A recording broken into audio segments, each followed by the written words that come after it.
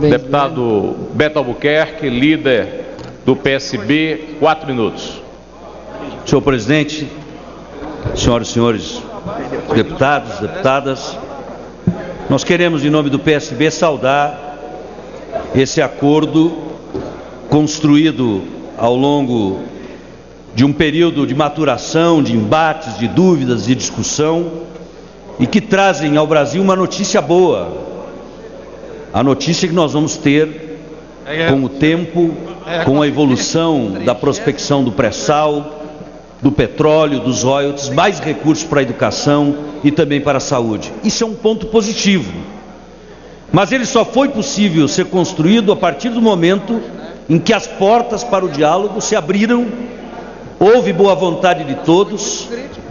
O relator André Figueiredo, a quem eu quero cumprimentar, teve a sensibilidade de compreender que havia pontos que ele também poderia ceder, e nós que desde o começo como bancada, como Partido Socialista Brasileiro, lutávamos pelo caminho que destinasse mais recursos para a educação, celebramos, evidentemente, hoje, primeiro na reunião dos líderes da base do governo, depois no diálogo que o presidente Henrique Alves teve com os partidos de oposição, essa, esse concerto que nos trouxe um resultado importante. Isso, senhor presidente, demonstra o quanto bonito pode ser a política, quando os convictos não abrem mão das suas convicções e aqueles né, que podem ajudar a ser convencidos se convencem e a gente constrói um resultado bom para todos. É inquestionável que entre investir é, sobre rendimentos de um fundo e investir sobre o próprio fundo, há uma diferença na proporção de dez vezes pelo menos.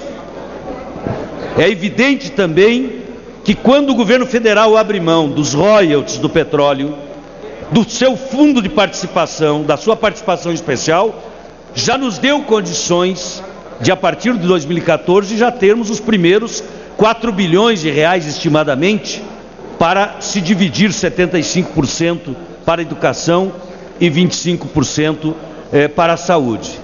Mas com o campo de Libra, o maior campo de petróleo já prospectado, daqui a cinco anos nós vamos ter um pesado investimento que pode chegar nos primeiros 15 anos de prospecção a mais de 100 bilhões de investimentos, além daqueles de rotina que são de obrigação do poder público, do governo federal, dos estados e dos municípios investirem em educação e também em saúde. A luta, desde o começo que nós travamos, é para encontrarmos este caminho. 100% dos royalties para a educação é importante se sobre o que incidir o 100% fosse relevante, porque 100% sobre pouco seria pouco, 100% sobre muito é muito. E essa é a vitória construída nesse plenário. Eu quero cumprimentar o líder do governo, os líderes da base, os ministros da educação, a ministra Ideli, o ministro Padilha, que interagiram nesse diálogo, os líderes da oposição, a presidenta Dilma, que há duas semanas discute conosco todas as segundas-feiras, defendendo seu ponto de vista, mas sensível que era preciso carrear aqui um acordo na mesma direção. Quem venceu? O povo brasileiro.